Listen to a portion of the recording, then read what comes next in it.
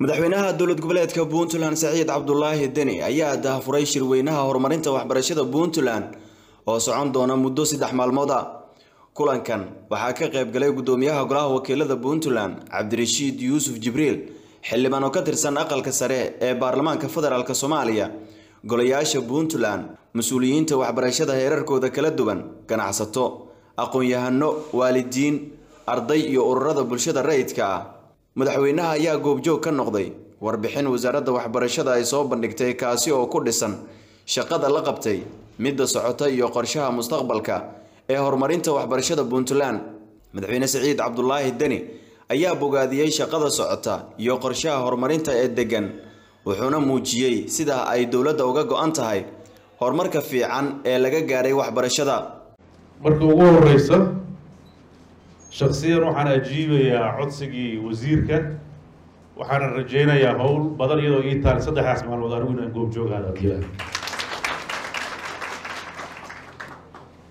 runtii ahmiyadda tacliintu leedahay inta halka joogta way ka dherigsan tahay intii halka ka hadashana oo doctor cabdinaasir u horreeyey aada bay u ishaareen. Iyo profesor juurile su'aasha u weyn oo maanta halka loo fadhiyo waxa weeye ahmiyadda u weyn ee bini aadamku marka uu rabo noloshiisa inuu horumariyo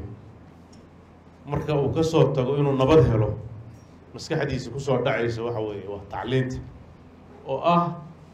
furaha inta kale ee bini aadan uu u baahan yahay uu ku gaari karo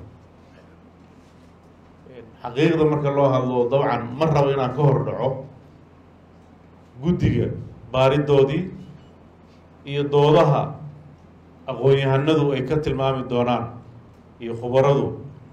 mawaadiicda u saabsan